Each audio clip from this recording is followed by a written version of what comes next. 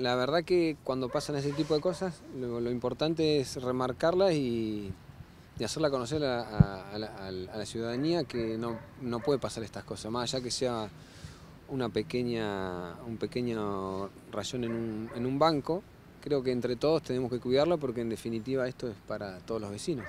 Eh, creemos que la Plaza Central tiene que tener, en nuestro, en nuestro criterio, tres placeros. Van a estar dos chicas y, un placero que ya estaba de hace años anteriores. Como que estás en otra ciudad realmente, porque la plaza te puede gustar o no, pero le da un aspecto de, centro cívico de lo que es la ciudad capital. Es parte del centro que antes no pasaba, antes toda la gente no, se metía en la plaza si no pasaba por el contorno. Y eso es... No la veían segura. No la veían segura, claro.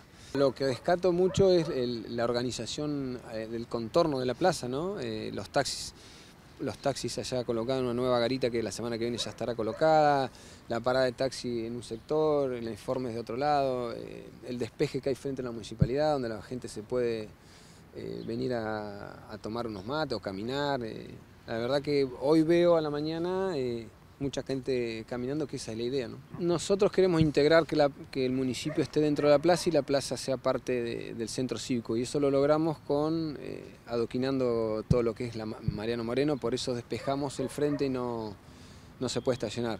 Lamentablemente no tuvimos, eso es una parte de, eh, parte municipal, ¿no? Y no hemos tenido los adoquines eh, en el momento que los queríamos tener, por eso se pensó primero en la inauguración de la plaza y ahora en pocos meses ya empezamos a trabajar sobre el adoquinado completo de la Mariano Moreno que hace que el nivel de la municipalidad sea el continuo con la plaza.